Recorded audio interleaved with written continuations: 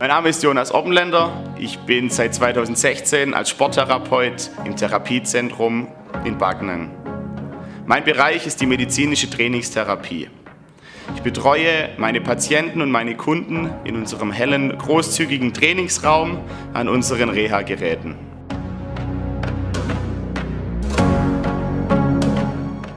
Die individuelle Betreuung meiner Patienten liegt mir dabei besonders am Herzen.